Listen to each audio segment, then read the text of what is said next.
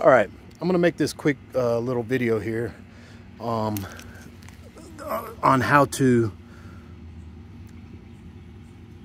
electrically start the 3500 watt champion inverter okay? Now you've got instructions here. It's this middle line to electronically start but it's very simple. All you have to do is turn this knob to on press the choke in turn the battery on okay? And then all you have to do is push this button hold it until it starts.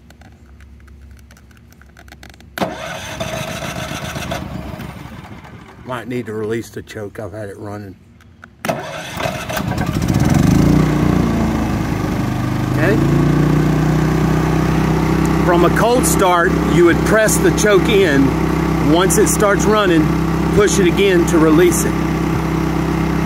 I had it running, so that's why I didn't need to choke it. Then to turn it off, you just kind of go in the reverse order. You reach up here and you push the button to off.